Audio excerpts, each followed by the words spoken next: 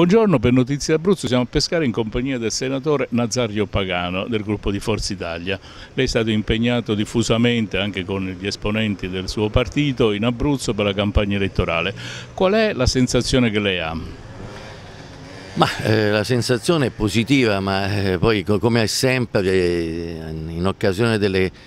degli appuntamenti elettorali qualche sorpresa c'è sempre. Sono cinque i comuni a doppio turno,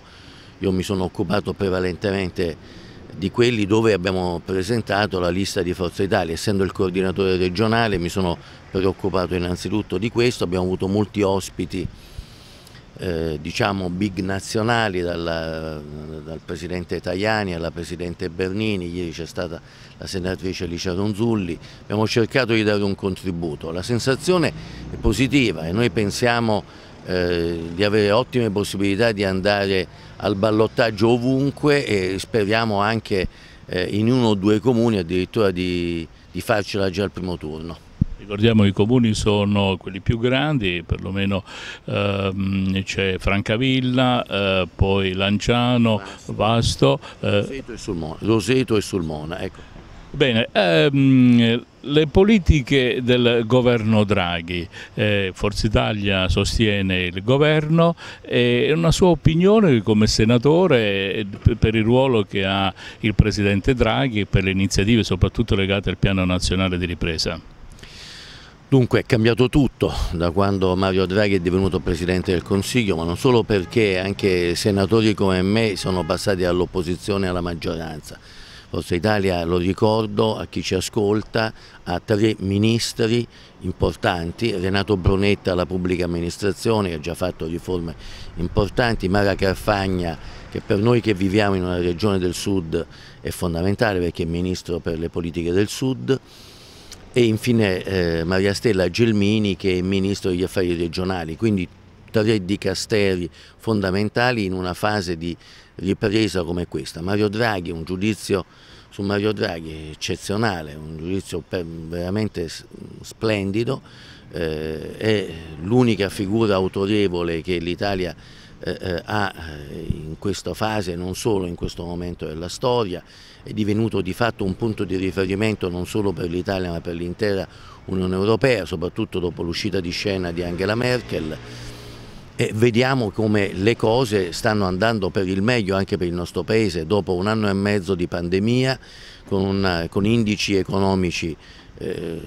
devastanti, molto preoccupanti soprattutto per le partite IVA ma non soltanto, tutti eh, gli indicatori economici erano crollati, oggi invece registriamo una crescita del PIL straordinaria, l'indice di crescita addirittura previsto in primavera è stato ampiamente superato, si pensava al 4,5%, invece entro la fine di quest'anno probabilmente toccheremo il 6%, il che vuol dire che è nuova ricchezza per le famiglie, eh, nuova spesa pubblica, eh, non c'è solo il piano di ripresa e resilienza di cui parlava lei, ma eh, c'è qualcosa eh, di molto più, c'è la possibilità di nuova occupazione, insomma con il primo ministro Draghi l'Italia ha svoltato e io mi auguro che possa durare il più a lungo possibile. Invece in merito allo scenario politico e imprenditoriale della regione Abruzzo, qual è la sua valutazione? Ma la valutazione è positiva perché noi abbiamo visto eh,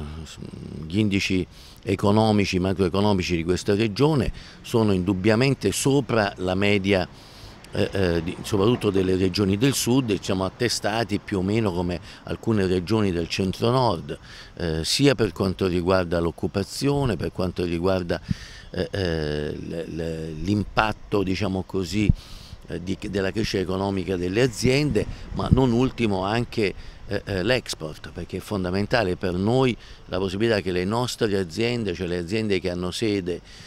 in Abruzzo possano aumentare l'esportazione perché poi soprattutto lì che si può crescere economicamente esportando il nostro prodotto. Quindi l'industria manifatturiera è in crescita e tutti gli indici sono positivi, insomma l'Abruzzo sta vivendo una fase di ripresa, di recupero ed è agganciata e questa è la notizia positiva alle regioni del nord. Bene, come possiamo concludere questa nostra chiacchierata? Ma concludiamo con, con un po' di, come dire, visto che siamo alla vigilia eh, eh, del, di un appuntamento elettorale significativo per la nostra regione, lo ricordava lei, sono città importanti come Francavilla, Vasto, Lanciano,